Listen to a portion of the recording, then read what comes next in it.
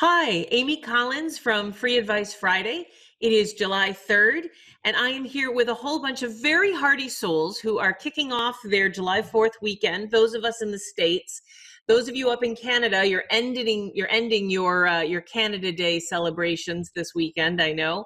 And for those of you outside of North America, God bless you. I wish I was one of them. I'm I'm having I'm having a rough a rough time right now uh, where we are with everything going on, but it's so good to see you all.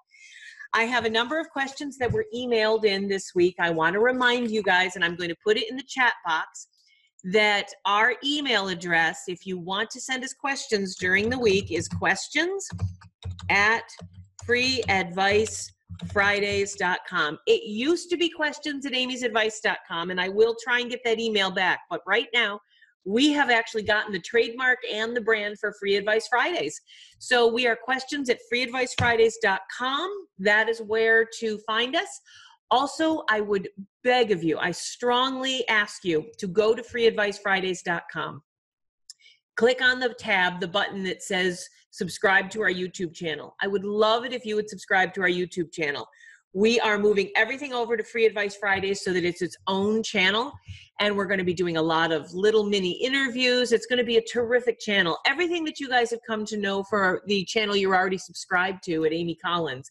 But if you would go to freeadvicefridays.com and subscribe to our YouTube channel, that would really help us out because the minute we get 100 subscribers, and we have thousands of subscribers on on the old site, but if we can get 100 subscribers on the new site, we can port everything over, and that would be awesome. All right. All right. Well, good morning, Tara. Good morning, Anna. Good to see all of you. Let's get started with the questions. Uh, Randy is um, is is kicking us off. He, he asked the first question, and he's been emailing a number of questions. Now, Randy is taking my library course. And so he and I have been working a little bit on his materials. And Randy, I owe you a call. We should get back on the phone next week. And because some of these questions are very specific to you, but he's finalizing his marketing materials to start rocking the library market. And he had a number of questions about what to include. So, what I'd like to start by telling you guys is if you've taken my courses or if you've watched old videos of mine, you heard me say that librarians prefer PDF. Don't send a Word document, don't send anything. Send a PDF because they're safe. However, in the last six months, eight months, things have changed dramatically and i need to i need to change some of those videos in my classes and i need to take down that advice from older videos that i've recorded for you guys because things have changed what i am recommending now is that if you put a packet together put it all together in one PDF, combine all the pages. Do not send separate pages. If you've got seven sheets, if you've got a, an informative one sheet and you've got a pretty cover sheet about the author, and you've got a, a, marketing sheet, you know, a gorgeous, you know, mark. And Randy, I sent you some templates for those marketing sheets about your entire series or your all three books or whatever. And you've got a press release and you've got a marketing plan that's four or five pages long, I would strongly recommend that you put them all in a PDF and you put them on your website to download. Step number one put them on your website to download. If you don't know how to do that, then get a book uh, a book funnel account bookfunnel.com you know it allows you to put uh, pdfs up for download but get the PDF up on your website so that it can be downloaded and send an email to the librarians with embedded screenshots of the the the gorgeous marketing sheet um, the the about the author sheet. But what i do now is i embed them actually as html into my emails. The reason is librarians are not and no one is at this about opening attachments from people they don't know a PDF is safe. So if you're going to reach out to a librarian and you don't know how to embed or you really can't figure it out, then embedding one PDF package is much better than sending 27 or 15 or even six attachments. Uh, we have found that the open rate is much higher when it's one PDF and when you when you call it the you know name it the name of your publisher, the name of your publisher, you know marketing kit But what we've done is we put the cover letter right in the email now and we embed the sheets below so that as they scroll down, they can just see them. And, and in the cover letter, you can say, if you would like to download a PDF of this, feel free to, um, you know, click on this link and download it from my website. But a number of librarians and a number of libraries, they're not allowed, their, their systems won't allow them to click on unfamiliar links. So also give them the option of responding to you and say, if you would like a PDF of this, I'd be happy to mail it to you. And so just, you know, email me back and I will send you this as a downloadable PDF. The reason why I am now suggesting, Randy, that you do not actually include PDFs in your email if you can help it is that more and more we are finding that libraries in particular that the emails are bounced back that libraries are not that they librarians don't even see the emails the library firewalls will block any unknown emails from someone with attachments. They just do it out of hand. Not all libraries, but enough of them. So that is a very long explanation as to what you can and what you should include in the emails. And it has all changed. So I'll be redoing videos in the next week or two to discuss that. But that is in detail. If you've got your one sheet, if you've got your marketing sheet, if you've got your about the author sheet, you've got your marketing plan, press release, and if you have a cover letter, that should all go into the body of the email and no longer as an attachment, but do make it available for download. Uh, Randy's also asking if he needs a separate one sheet for the audiobook, um, since a different person at the library deals with those. If so, does he include it with others? Uh, Randy, I just make it part of your kit. You know, put right at the top, you know, audiobook. Um, but I would also include the ISBN. I truthfully, for most of you, unless you're going to be pitching specifically your audiobook exclusively or very aggressively, it is for most of you guys, it is fine to just put in your your informational sheet and on your marketing sheet paperback ISBN, hardcover available ISBN, ebook available as an EPUB ISBN, ebook available as a Kindle ISBN, and audiobook available and that ISBN. You don't need to come up with a separate sheet. Now, Randy, for your particular situation, if you want to get really aggressive with it, it's fine to do it. It's no big deal. You already have the sheet created. Just copy it and, and put audiobook at the top with the ISBN. Um, yes, including uh, brochures are all fine. Just make it all part of one packet. All right, so I hope that that answers the the general questions. Randy, we can set up a call next week to answer your more specific questions, but I hope that that was helpful. All right, Linnea, you didn't get any sleep either? Oh man, and Sonia, I love your answer. Love it. Vicki, how are you? Happy 4th as well. Um, stay safe out there in Arizona. All right, let's answer some of the questions that are coming in here online. Um, I'm just going to go through it. Oh, Bob Eckstein is here. Good morning, Bob. Always good to see you. Let me just read this quietly to make sure. Let's see.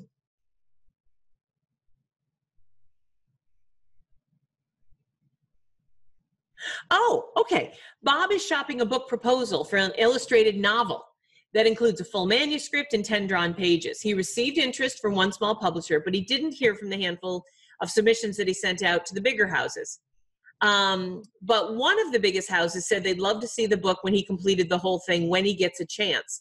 Uh, well, for one thing, Bob, um, if you're doing this outside of your agent, um, uh, we'll we'll talk about that.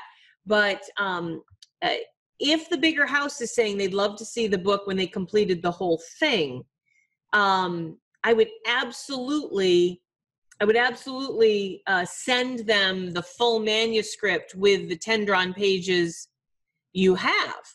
Um, if you haven't already sent it to them and say that you will complete, you know, that you're happy to complete the whole thing and that you are, you're working on that, but that you're already getting some interest and some offers from interest from, uh, you know, other publishers. And so if they would like to present this to Pubboard, um, here's you know 10 illustrations as well as the full manuscript um, if I, I can't imagine i don't know many editors who would require someone of your pedigree and with your background to actually complete every single illustration and as you said you've got a full manuscript so it is done for the most part Um, and then Bob said that's exactly what he did, but now they want to see the whole thing.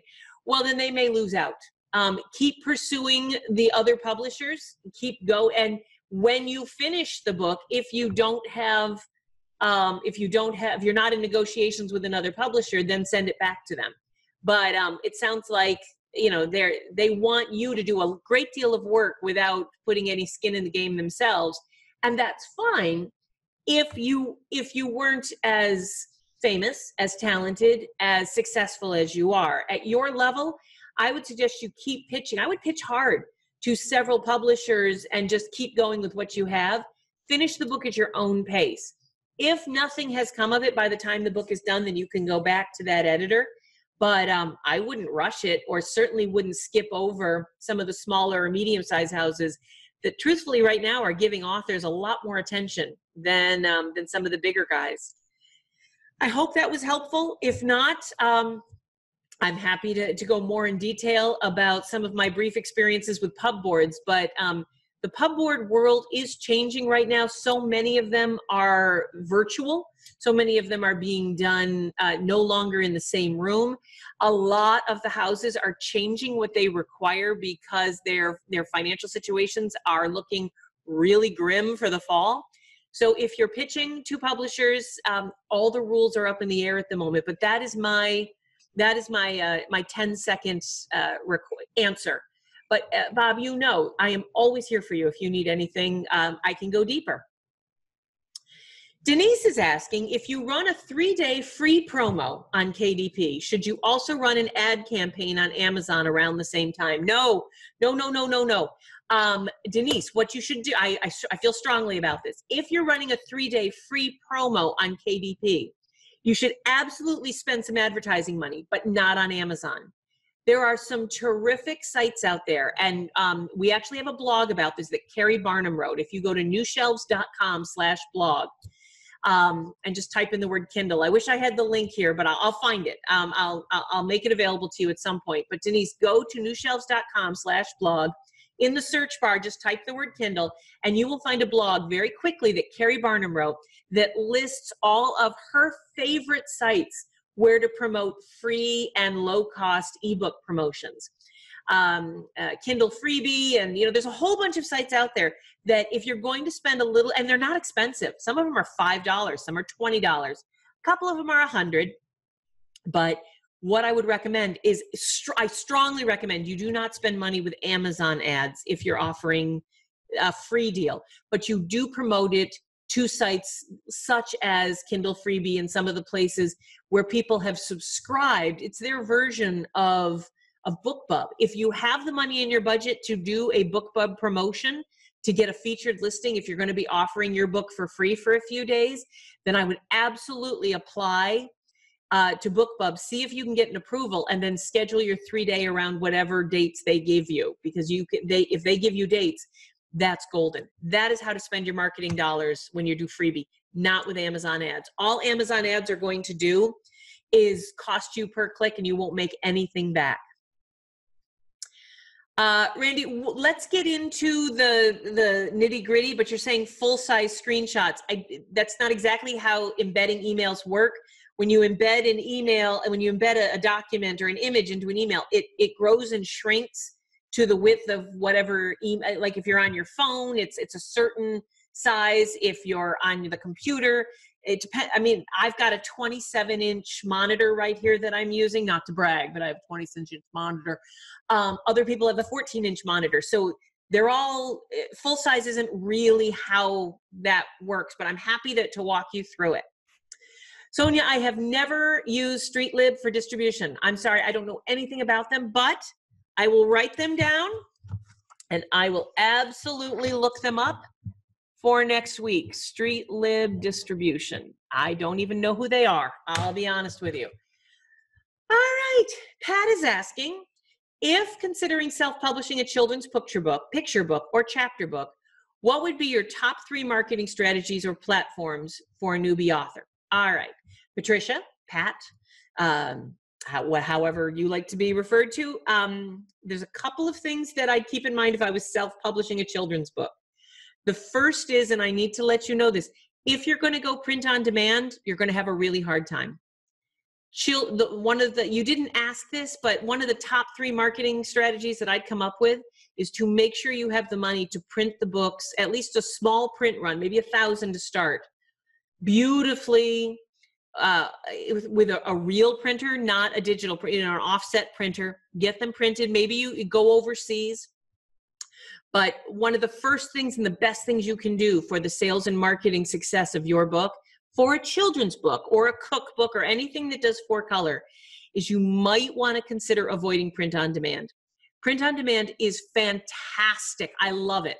It's not quite there yet for children's books. The paper isn't quite right the depth of color, the um, the the ability to print on the spine, the um, the hardcover quality. Uh, if you're going to be publishing, if you're going to start a children's publishing line where you're doing picture books and chapter books, and maybe and board books, they come and go in terms of popularity. Board books are extremely popular. You please consider printing perhaps overseas because marketing a print on demand children's book is extremely difficult. I would argue that in all of my years, I have not seen a truly successful, strictly print on demand children's book.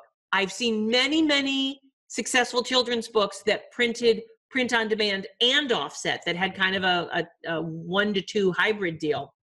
But the first thing I would suggest is you make sure that your packaging was pristine. Make sure it's perfect. So then uh, the second thing I would suggest is for kids' books, it's all about word of mouth recommendations and reviews. Do not publish your book until you have at least a dozen famous, successful, uh, other authors, but you have people raving about your book telling you what they think of it. So create some what's called F and G's, fold and gathers. They're, they're sheets that you send out to people and and start with reviews. With a children's book in particular you're going to want a school library journal or a publisher's weekly or a book list or um, i mean there's an or, or go to some of the parenting magazines but you're going to have to have reviews.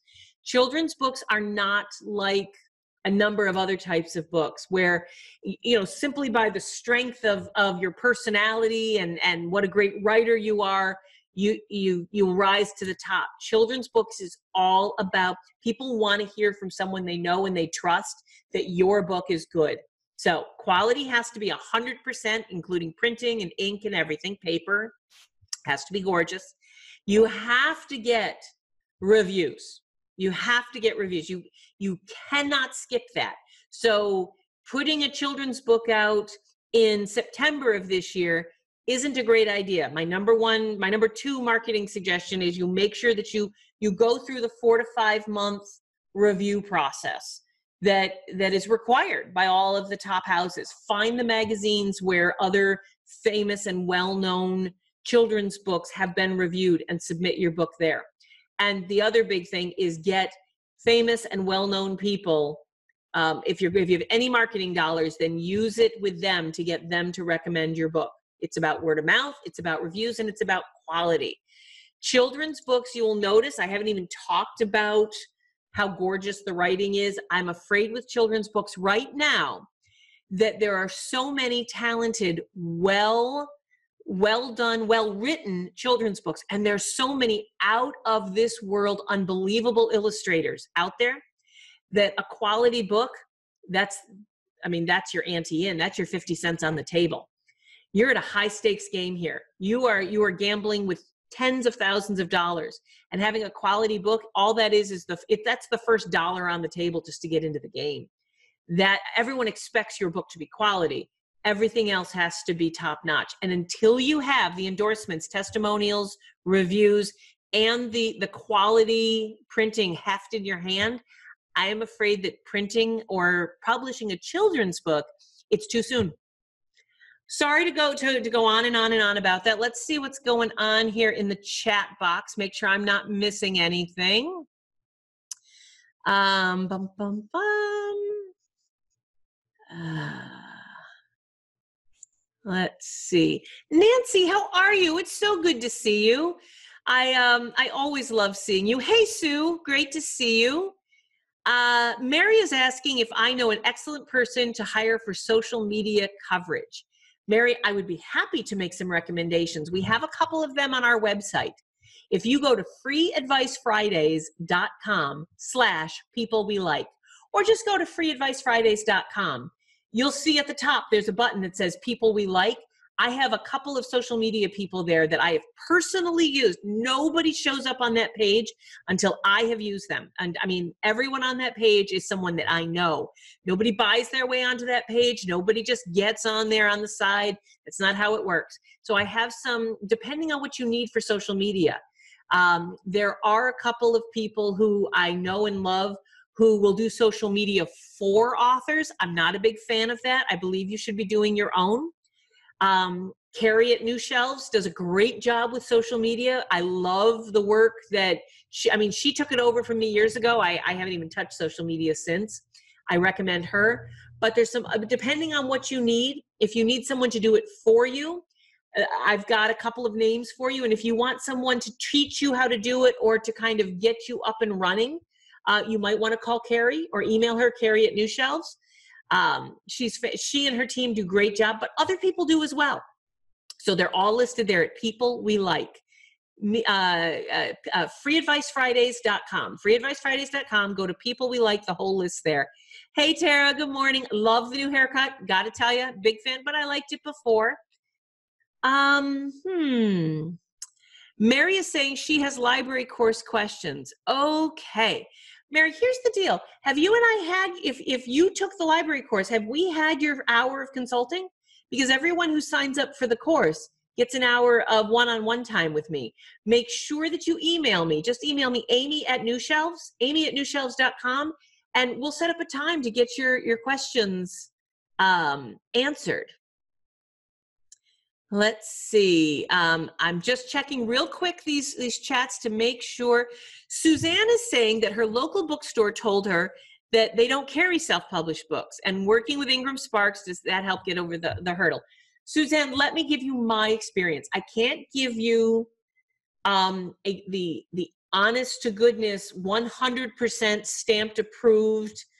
True. I mean, I can't tell you that this is 100% true, but I can give you my experience. 99% of the time, and I have been calling publishers, I have been working with self published authors, and I have been working with bookstores and libraries for almost 30 years. And when a bookstore says to an author, we do not take self published books, what they are saying, I'm so sorry, Suzanne, what they're saying is, we don't want to take your book. Of course, bookstores and libraries take self published books. Um, if you look at the stats, according to the Book Industry Study Group, over 70% of the books that sold last year through the bookstore market, 70% of them were from traditional houses. So let's do the math. If 70, if it was 71% of, of books that sold through the bookstore market were from traditional, mid-sized or or large houses, and 30%, and it's broken up like 5% are self published, and 9% were independently published. By the way, guys, independent publishers, for the most part, for the most part, is just a clever way of masking being self published. Now, there are small and medium sized houses like Emerald Lake, like Tara has, which are not you know self-published authors they are their official real publishing houses but 30% of the books that were sold through the bookstores last year were not through traditional houses. Most of them were self published. So if you're being told by your bookstore or library that they don't take self published book, either they don't like your book or it's not distributed properly. They won't take your book on consignment because they don't like the look of it. They don't think they can sell it. And it is so much easier to say to someone, oh, sorry, we have a policy. The policy is we don't take self published books. That is a much kinder way, and it keeps people from arguing you, you can't argue with a policy. You don't take self-published books. It's not my book. Okay. But let's say, Suzanne, that your book is stunning and that they really wanted to carry it, but it's not available through Ingram or through any of their wholesalers. Then yes, go through Ingram Spark. Getting your book distributed through Ingram Spark, where it's returnable. So, and you have to give Ingram Spark their full 53 to 55% discount. Because if you give Ingram Spark anywhere from 53 to 55% discount, they can sell the book to their sister company, Ingram, at a 53% discount. Ingram can turn around and sell the book to the bookstores at a 35 to 40% discount. They keep the 10 or 15 points in between, and that pays for the gas and the trucks and the shipping and the employees and the customer service and the billing. And then the bookstore gets a 40% discount, which they've always gotten. That's what they deserve. They're the ones who are going to put your books on the shelf. They have to pay their rent or their mortgage and their lights and their employees. So if you want to get into bookstores, a fully returnable discount at Ingram Spark, discounted to wholesalers between 53 and 55%, may do the trick. I hope that answers your question. Um, Jules is asking, what is a pub board? Oh, okay. A pub board, for anyone who, I, I probably should have explained that, for anyone who was listening to my answer with Bob about getting an agent or, or pitching to a, a traditional publisher, this is how, in many, many cases, publishing work, in most cases, this is how it works. You pitch your book to an agent, and let's say the agent takes on, um, it says, okay, I'll take you on. Yeah, or, or you don't, you do it yourself, but somebody pitches your book to an acquisition editor at a publisher. And it is the agent's job or your job, who's ever pitching your book, to convince the acquisition editor that your book could be very successful and make their company a lot of money. Then it's the acquisition editor's job to go to their boss, the executive uh, executive editor or the head of the editorial department, their boss, and they need to convince their boss that this book idea that you've pitched them will make their company a lot of money. And then the executive, ed- the editorial director, and in most cases the acquisition editor go to pub board and the pub board is usually made up of a, a, whole team of people from different parts of the company the art director is there quite often the sales director is there or several sales directors. If there's a trade director and a specialty director maybe the library the person who's representing the library market or corporate sales is there. And it's a whole it's a whole table. In some cases it's three or four people. In other cases it's 10 in some cases it's it's huge but but let's say it's six people, just for the sake of argument. And that pub board meets once a week, twice a month. Um, in most of my experiences, it was once a week, but things are changing now with everything going on. And the pub, and so the editor, then it's their job to convince the pub board that this book idea, that if this book gets accepted, it will make the publisher a lot of money. It will be successful. You have to tell the pub board how hard the author is willing to work to promote it, you have to get uh, comp title and comparative title data. You know, there are other books that are similar but aren't exactly the same thing. There's actually room on the shelf for this particular idea, but there's something similar that's already successful. Um, they have to weigh, and the art director has to say, "Yeah, I think I think I could work that. You know, these illustrations or this idea, I like it." The sales director says, "Okay, I, I think I could sell this." But if if the editor convinces the pub board that the book is worth publishing, then quite often the head of the department will give the acquisition editor the green light to go ahead and offer the agent or the pub or the the author uh, to make a deal, to make an offer. I'll give you $3,000 advance, I'll give you a $30,000 advance, I'll give you a $300,000 advance and 7% royalty for that book. And then the negotiations start. At that point, pub board is out of it. Um, as the negotiations go back and forth, they don't usually get they don't get involved with that again, for the most part. Um, and then you know that's just the beginning. But pub board might it, it's part of the step along. It's a very important step along the process so that you can get an offer, and and that's what pub board is. I hope that helps. All right. Robert is saying before the COVID 19 lockdown, I sold a library marketing which because US libraries were closed became pointless. What is the status of the library mailing as of today? Robert, I am so sorry if you didn't get the updated emails. We've been sending them out, so I need to find you. Um, let me write that down because we started mailing out those mailings the first week in June. Um, so, Robert, um, you should have been receiving. I mean, I, I know who you are, I know your book, um, and you're in the mailings. We have been sending them out um, all through June. However, an email was sent out last Thursday to everyone saying, guys, it's not working. It's just not working. I am sending out charming, well written, gorgeous emails to the library market, and we are having such a low open rate. Um, they, the, the open rates were much higher in March and April actually than they are now. I think it's because libraries have been told they cannot purchase right now. I don't know what's going on. So we are we've we've sent out a number of mailings and we are giving everyone the option at this point um, to either hold hold firm and we will keep mailing out to libraries and we will we will stop for a couple weeks and we'll start again and we will keep mailing out for the rest of the year or get a hold of me and i am happy to refund your money we did not know that covid was going to hit when we sold the library mailing um, if you've already been through the library mailing i mean if you already got your if, i'm talking about the one that was that was starting in june if you got the one that went out in january and february you're good but I mean, you did great. We had great open rates for those. But the one that was coming out in June, um, we have been sending them out, but we've not been getting the love that we thought we would get. We hoped we'd get. Um, and so we will keep we will keep trying. We're sending out smaller emails. We're sending them out at different times. We're going to keep sending them out all the way through the summer into the fall. Or, um, I'm, Robert, I'm happy to refund your money. Uh, we didn't know. And so we'll do that. All right. Um, bum, bum, bum. Mary, I don't know what info at, um, I am so sorry, info at New Shelves.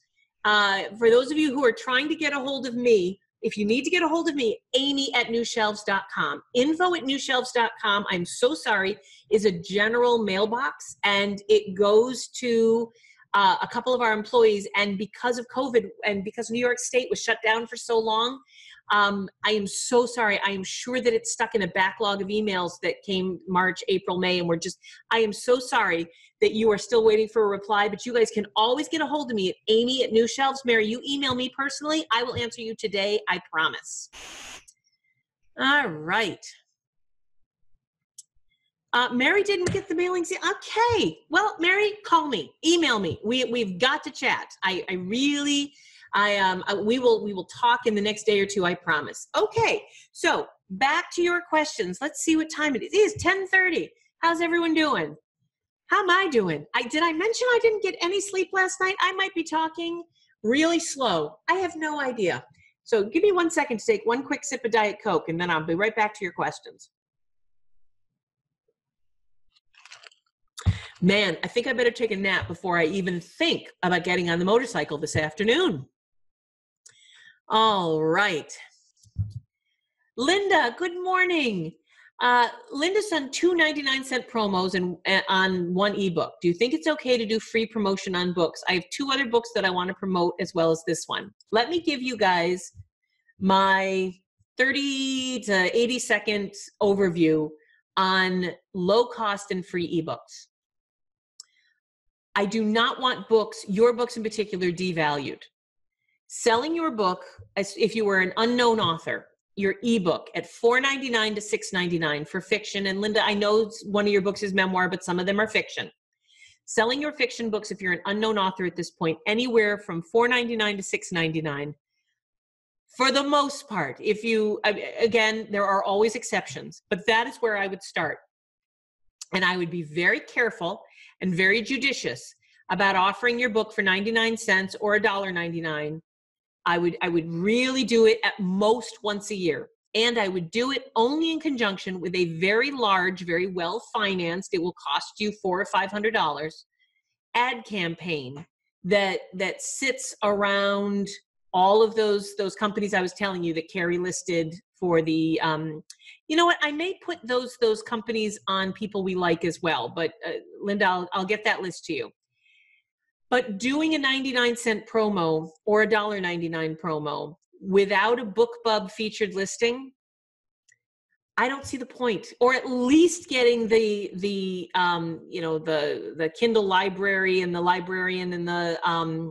booksy and all the you know getting the other promotions. Rebecca's getting getting some promotion out, just offering the book a low cost and doing your own promotion through social media, all you're going to do is tell people who already have either bought your book or decided um, my um, hold on my iwatch is um is is my siri is thinking i'm talking to her.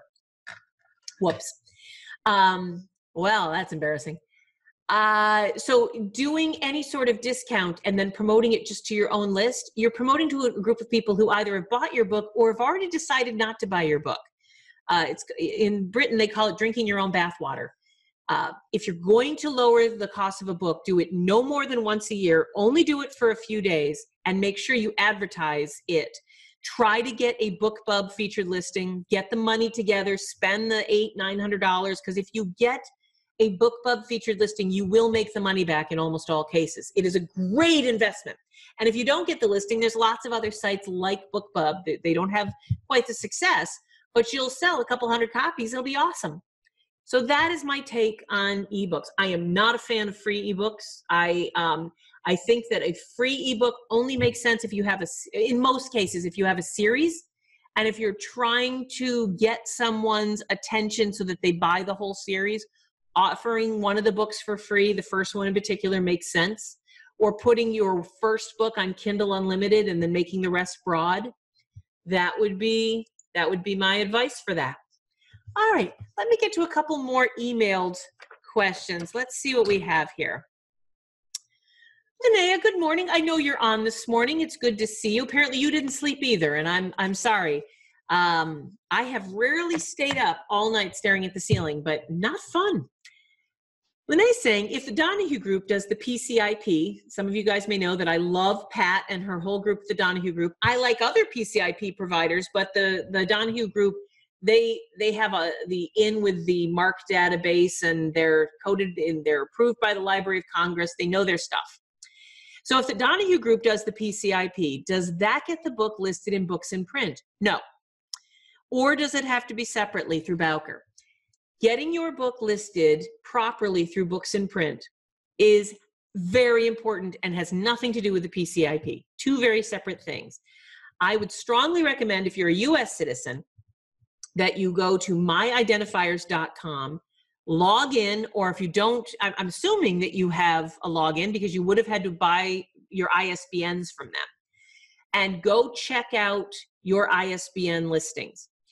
Did is the 10 ISBNs you bought, and let's say you've used three of them, do they look empty in my identifiers or did you go in and did you fill out all those forms? Did you tell them the title and what the trim size was? Did you upload the cover? Did you upload the interior? Did you do any of these things? Because if you did not that means that your books and print listing is lacking and it is very important that you go into your Bowker listing through myidentifiers.com. RR Bowker, their, their portal, their interface with publishers is myidentifiers.com. Let me jot that into the chat box because that is an important myidentifiers.com. I hope I spelled that right. Um, because making sure that every single one of your ISBNs has every question answered, that is the best way to get the most rich and useful metadata out into the world. And it is really important for those of you who have not published a book yet to get all that metadata in before you publish the book. If your book's already published, it's not ideal, but I still want you to go back there and upload the cover and upload everything and get it done. Because getting your book into books in print um, gets you into more than books in print. That is a database that gets uploaded and flowed out into all sorts of databases. You have, I mean, you, you have no idea where that data ends up, and it needs to be done properly. Jules is asking who I recommend for PCIP. Jules, they're called the Donohue Group.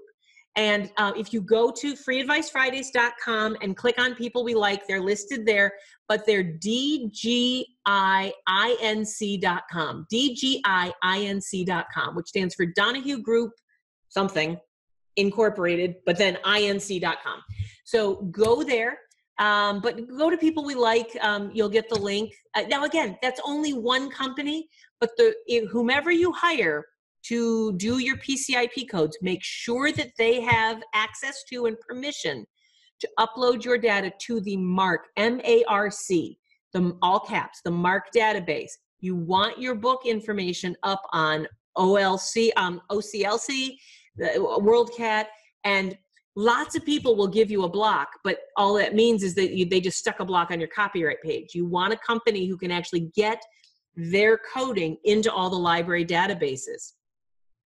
For those of you who are confused about all of this, I'm, I'm going to shut down the questions about PCIPs because we have a fantastic overview that we wrote up on our blog. If you go to newshelves.com slash blog and just in the search bar type PCIP, there is a whole blog that lists out in detail the Library of Congress information, Library of Congress numbers, pre-control numbers, PCIP, CIP. It talks about all these initials, what they stand for, and what they're good for. I've got it all laid out for you. All right. Randy is asking Kirkus Reviews. Their website lists the paid option, but that's not the kind that libraries care about. Wow. Yeah, I am with you. Randy, no. Uh, anyone who's known me for 10 minutes knows that do not, I tell, I beg of you, do not sign up for a Kirkus Discoveries review. Do not pay the $450 or whatever it is. Yes, there is a link and it's hidden. It is so hard to find, but there is a way to get to the Kirkus page where um, a Kirkus page where you can, uh, I'm going to try and multitask here, where you can get the instructions on how to submit to Kirkus without you know actually submitting to their educational department their editorial department. Holy moly i am losing my mind. I can't i'm not a good multitasker especially on very little sleep. So let me see if i can find that link and drop it in the chat box for you.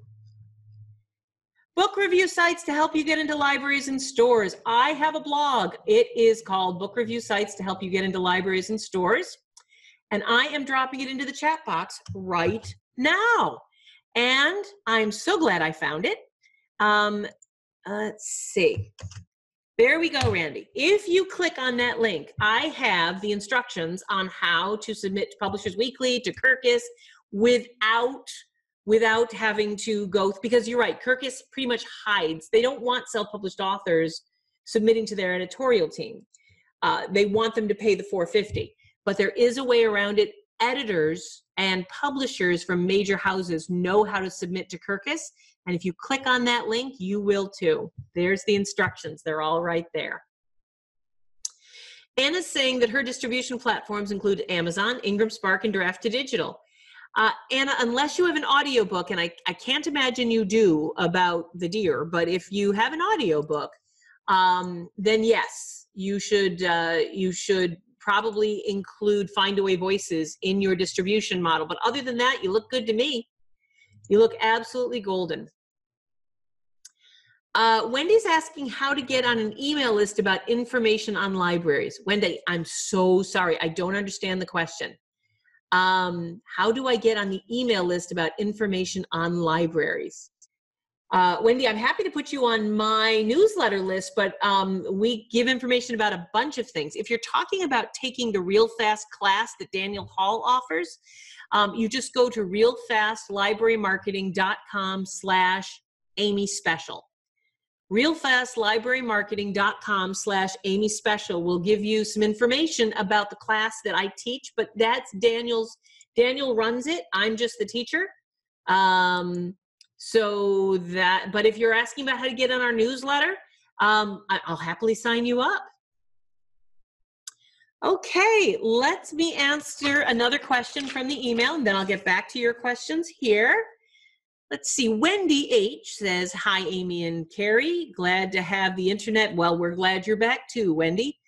Um, her ebook, Change Your Mind, Change Your Body. Sorry, Wendy, I have to put my glasses on ah, was it $6.99 and did pretty well. So she dropped it down to $4.99 to see if she'd get more sales. No, she didn't. I'm not surprised. $4.99 to $6.99, people do not, um, it does not matter to people. So after having given it a chance, she's going to put it back up to $6.99. Can I recommend a good price through draft to digital? Wendy, the, the price through draft to digital is $6.99. If that's what you put it up as, that if that's what it should be everywhere across the board, except for overdrive. See, if you're selling, when you go to draft to digital, you will notice that you are allowed to put the retail price in, which you've already decided is $6.99, and it should be the same for all retailers. Don't don't play around. $6.99. But you are allowed and encouraged to set a different price for non-retail sales, for wholesalers, for people like Overdrive that will be making your book available to the libraries.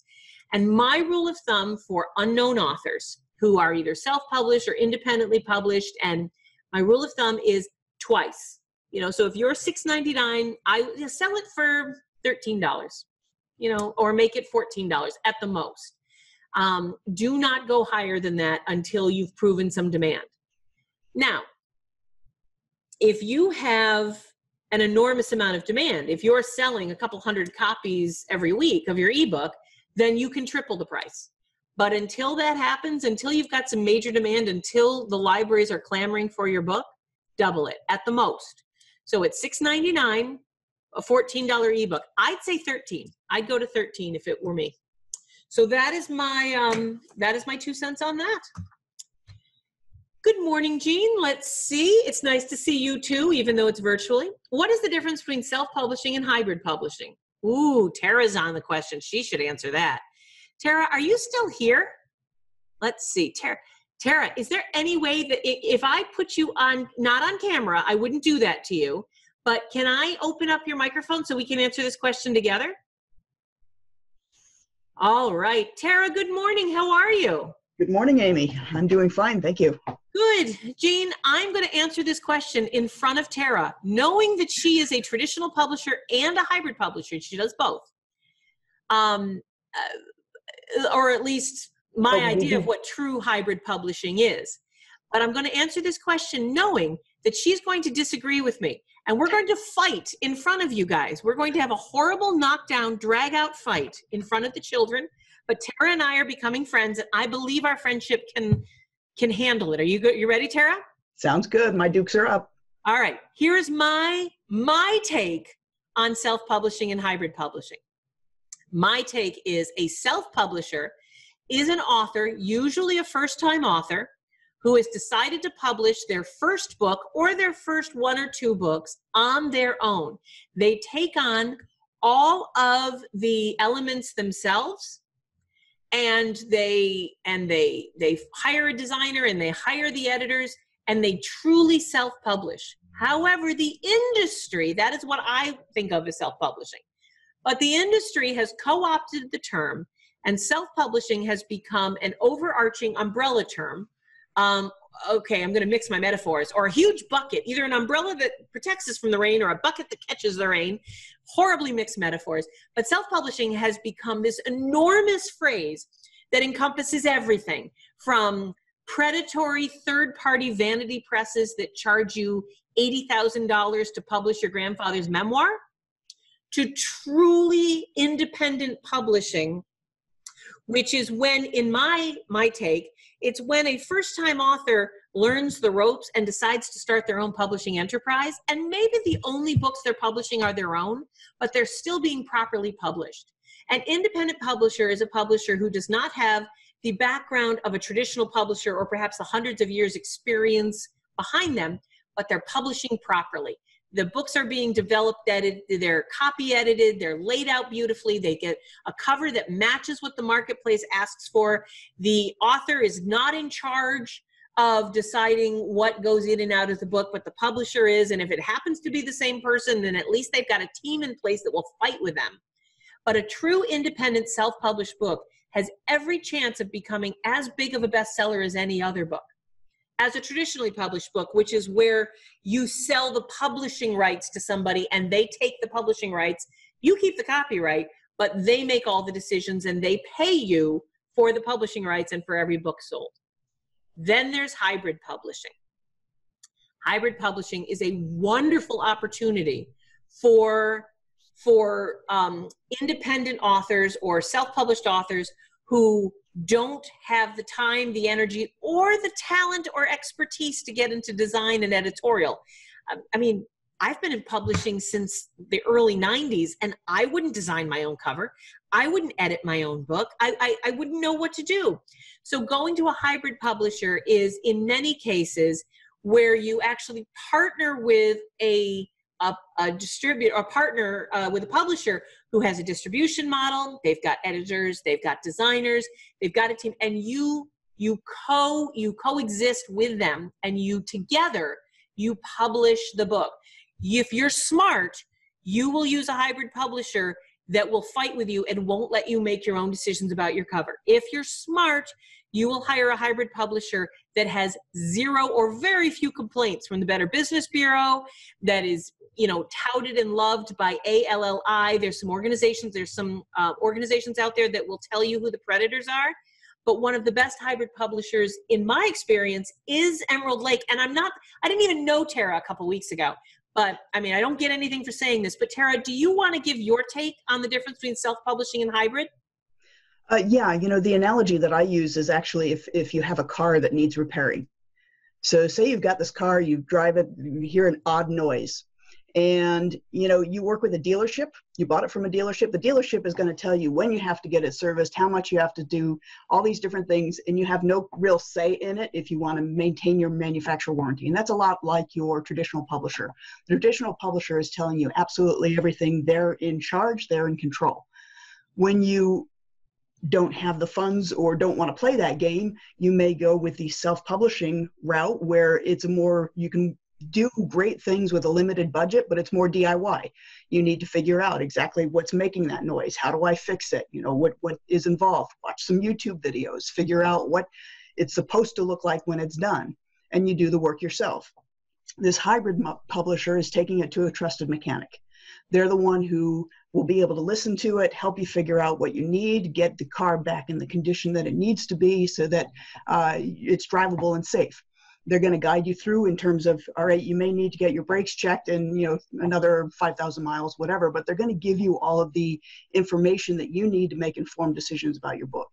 When it comes to uh, the publishing, there are so many different options out there. And just like car mechanics, you've got those that are predatory and you've got those that are, are trustworthy and your friendly neighborhood garage mechanic. So you really want to find those relationships that work well. We actually have a quiz that helps people determine which publishing model is right for them based on certain questions that we ask. You know, for instance, do you have a budget? Do you like to dig deep into learning new things? If you don't, then self-publishing if you don't like digging deep to learn new things, self-publishing may not be the best option for you because there's a lot to learn. But you can have a ready-made team who can guide you through the process when you work with a trusted hybrid publisher because what they're going to do is they already know what needs to be done. They're going to tell you what your options are. They're going to give you the opportunity to provide feedback and input but they're going to guide you along the right path. And so what you're doing there is you're paying for this guidance you're paying for these services rendered uh, your budget may need to be a little bit more than if you were publishing on your own. But if you're publishing self-publishing, you've still got to hire an editor, hire a cover designer, figure out all these different, buy your ISBNs. And when you're buying ISBNs in smaller blocks, it's much more expensive than when you're buying them 100 at a time. So, you know, there's all sorts of things that in the end, the cost between doing self-publishing well and working with a hybrid publisher may not be all that different. Uh, oh, that is absolutely my experience. Yep. Yeah. I mean, you're going to spend thousands upon thousands of dollars to properly publish a book. I mean, publishers spend, I mean, Random House spends $10,000 to properly put out a book. Yep. So why wouldn't you? Um, and they have they have better uh, economics of scale than you do. Putting mm-hmm. a book out properly is no different than starting any other business. You have to be well financed to do so. Now, you have to decide um, how much of it you want to figure out how to do on your own. If you're going to be doing multiple books, if you want to be one of these rapid release folks who puts out 10 books a year, then learning how to do it yourself and self-publishing to keep those costs down is going to make a lot more sense than hiring a, a publisher to help you each time. You may want to hire a publisher the first time so they can guide you through the process, guide you through the steps so that then subsequent ones are easier for you to do. But that's my two cents. Well, I love your two cents. And Tara, thank you for jumping in. Uh, Jean is also asking because her book was with, I'm not going to mention the name of the company out loud, but her book was with a division of Author Solutions, which I will mention. It was a division. And I, I'm here to mention to you guys that there are companies out there like Balboa, like Alsons. There are companies that that say that they're a division of Hay House, or say that they're a division of Simon and Schuster, or say that they're the self-published arm of Zondervan mm-hmm. or HarperCollins. Christian. They are, in a sense, but what they all are, they, they are actually just all owned by Author Solutions. And Author Solutions is a company that has partnered with these major houses like Hay House and Simon and Schuster, HarperCollins, Zondervan, to offer self-publishing services and self-publishing packages that is in essence just vanity publishing they they charge you three four five thousand dollars to start and then there's marketing and there's a bunch of stuff that goes on top of it. And they and you as the author get to make most of the decisions. That will usually end up with a very poorly published book in most cases not in all. Not only that it's also expensive to stay with them because oh, extremely expensive. if you look at the the author copies they typically do a 20% off list price meaning that you're only getting a 20% discount to buy copies yourself as opposed to a markup on print price. And so there are some other book. yeah eh, keep in mind keep on you know make sure that you google any company you're planning on using. And um, i have no problem with author solutions. I don't. They they i mean if you if you want to use them i i'm not telling you not to but they're not a hybrid publisher. They're not a self-publishing company. They are a vanity press and you and they're a great option if you want to print a couple copies of your grandmother's cookbook um, but it's an extremely expensive option. They do not have um, they do not have the seal of approval from most of the industry for a good reason. And I'm just gonna and Jean, your your imprint is one of those. So um, and David is asking if a hybrid gets the rights. David, if you if you use a vanity press, they have the publishing rights and the distribution rights until you cancel the contract. Um, with a hybrid publisher, in most cases, the same thing is true. They have the publishing rights and the distribution rights. But what distribution rights? It depends on the publisher, it depends on your contract. But yes, in most cases, you are going to be giving up the distribution rights, but only until the contract is canceled or over. Tara, with you guys in Emerald Lake, what do you do about the rights? So in discussing things with our lawyer, what they said is you need to distinguish between rights and a license. So in our contract, the author maintains all of the rights and they license us to an exclusive license that allows us to publish and distribute. Fabulous. Is a lot of folks that are using their book to build a business, for instance, they don't lose any of their intellectual property rights or anything like that. Anything they want to do in relation to the book is still in their control. Tara, would you be willing to go to the chat box and drop in uh, the link to either your quiz or you were you mentioned a quiz and a couple people are asking about it. Uh, um, uh, quiz can be found right on our homepage. I'll drop it in the chat box. That would be wonderful. And Tara, thank you for joining me. I'm sorry to put you on the spot like that. Always happy to help, Amy. All right. I'll talk to you later and I'll answer your question in a second. Okay. All right. That was Tara. Um, uh, Tara is uh, again the I believe she's the executive director of, of Emerald Lake Books. Uh, I like them; they're a, a, good company. There's lots of great hybrid publishers out there. Uh, there's also a lot of horrible ones. So um, again, paying attention to, uh, and I like to recommend Ally, A L L I the Alliance of Independent Authors, Orna Ross and her group are wonderful, wonderful at identifying. You should also go to Writer Beware, Editors and Predators, which I think is back up and running again, but Writer Beware, Victoria's list is terrific.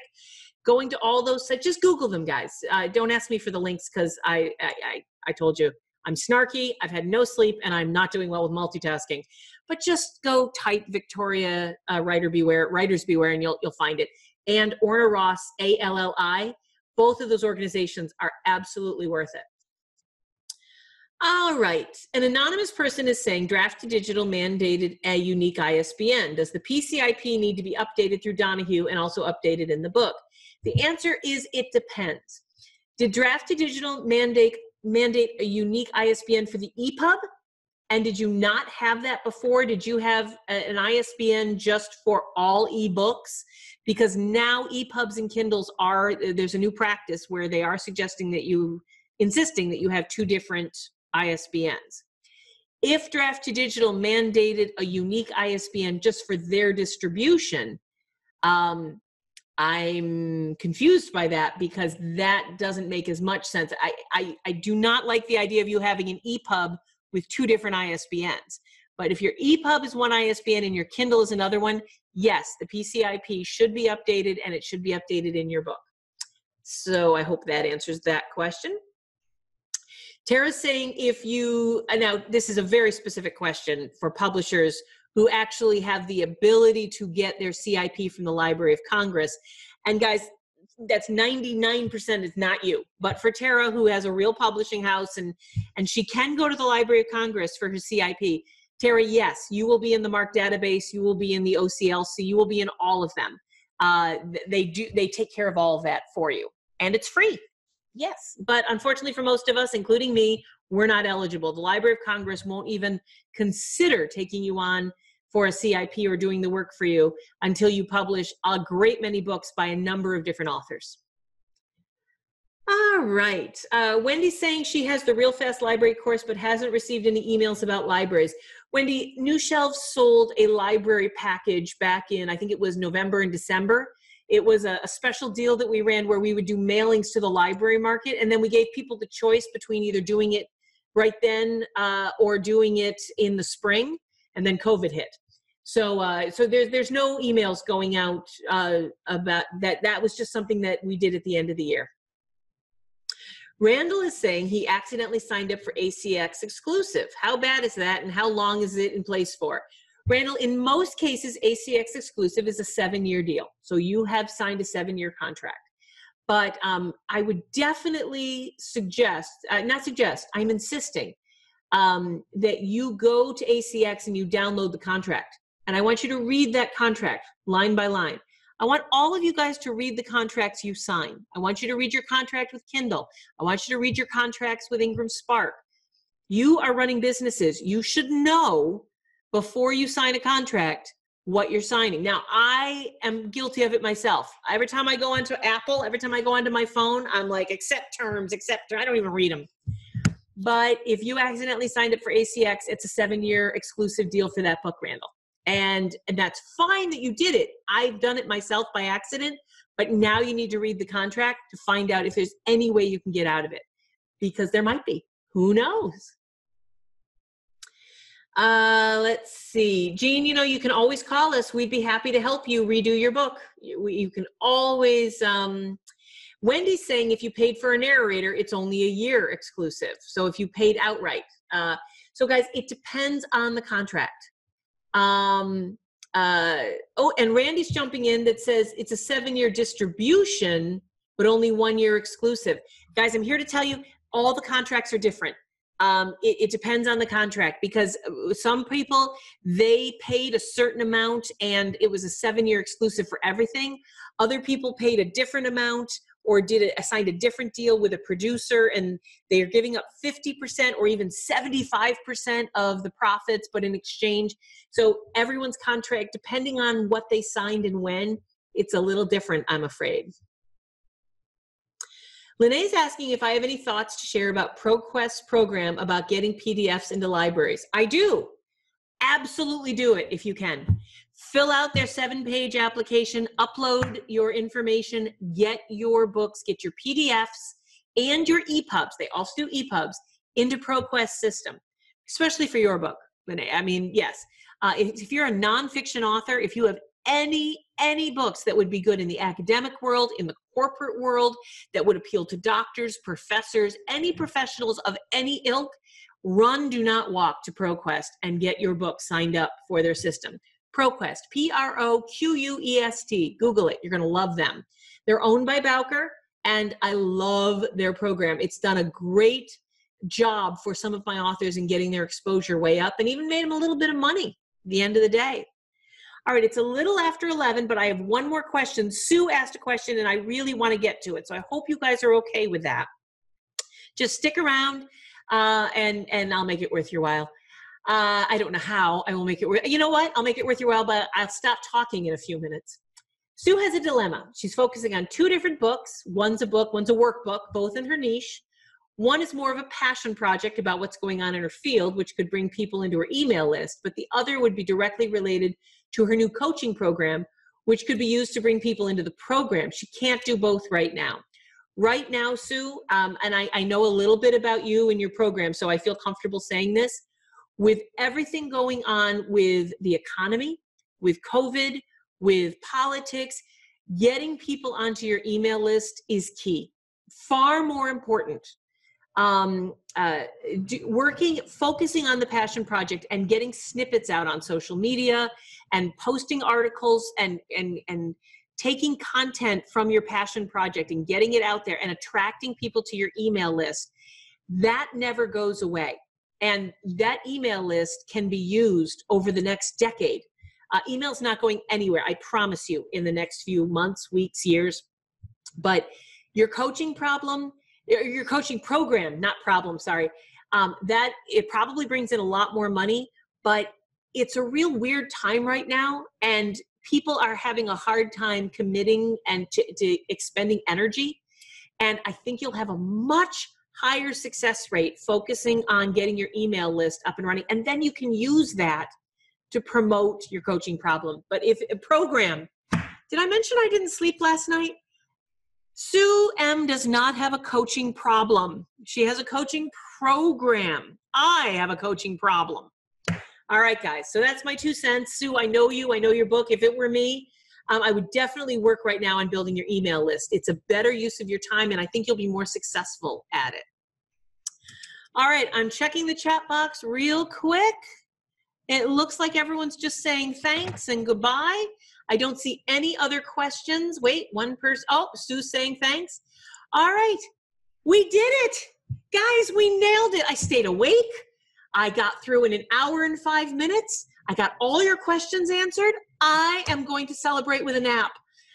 I adore you. We will see you back here next Friday, 10 a.m. Eastern at Free Advice Fridays. Please go to freeadvicefridays.com. I am begging you. Sign up to and subscribe to our new YouTube channel. It would totally help me out. And if you would, would you share the freeadvicefridays.com link on Facebook or Twitter. If you enjoy this, I would love to get a little more love because now that we're branding with Free Advice Fridays, I'd love to move some of the love away from Amy Collins and onto Free Advice Fridays. That came out wrong. I'll see you guys next week, and I really adore you. We'll see you Friday at Free Advice Fridays.